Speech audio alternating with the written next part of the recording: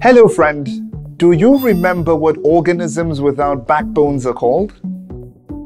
They are called invertebrates, and just like all living organisms, they need to produce new individuals in order to ensure continuity of life.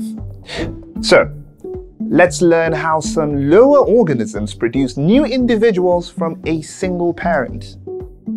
Now, animal-like protists like amoeba and paramecium reproduce by binary fission. This involves a parent amoeba or paramecium dividing or splitting to produce two identical daughter cells. Rhizopus and amoeba can sporulate, that is, they can produce spores which can become offspring. Organisms like Spirogyra and some sponges can reproduce through fragmentation. Long filaments of Spirogyra can break off into shorter fragments that can grow to become new filaments.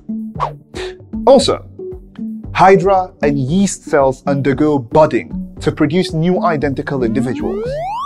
Now, budding occurs when a parent organism forms an outgrowth called a bud, which then grows into a new organism that later separates from the parent organism.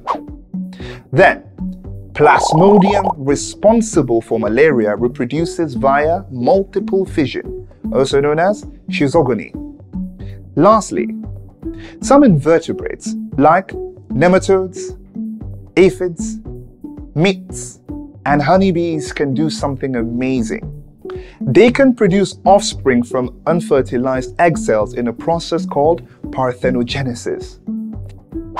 Now that we've explored how some invertebrates reproduce asexually, we'll get to see those that reproduce sexually very soon.